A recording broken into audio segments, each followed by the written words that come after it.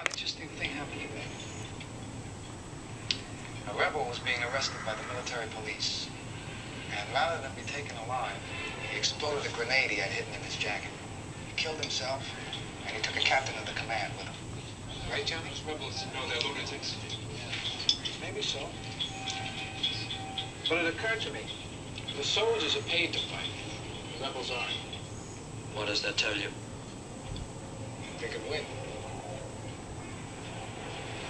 This country has had rebels for the last 50 years. It's in their blood, believe me, I know. I've been coming here since the 20s. We were running molasses out of Havana when you were a baby. The trucks owned by your father.